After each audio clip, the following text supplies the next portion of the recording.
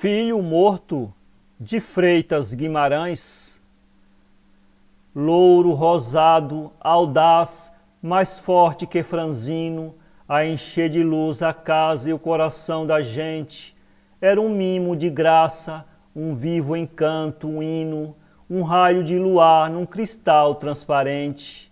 Eis senão quando veio a mão do atroz destino, e o róseo cofre abriu, onde sonoramente cantava o coração do pobre pequenino, como um pássaro canta ao pé do ninho quente. O roxinol fugiu, sucedeu a tristeza àquela voz tão doce e cheia de ternura,